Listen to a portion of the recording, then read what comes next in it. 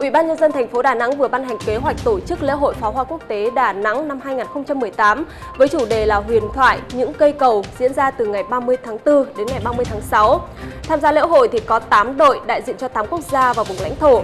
Theo đó, lịch trình diễn của các đội tham dự như sau. Ngày 30 tháng 4 là màn trình diễn pháo hoa của đội Việt Nam, Ba Lan. Ngày 26 tháng 5 là chương trình dự thi của đội Pháp và Mỹ. Ngày 2 tháng 6 là lịch trình diễn của đội Italia và Hồng Kông, Trung Quốc. Ngày 9 tháng 6 diễn ra chương trình của đội Thụy Điển, Bồ Đào Nha. Ngày 30 tháng 6 diễn ra chương trình chung kết, trao giải cho hai đội đoạt giải nhất nhì.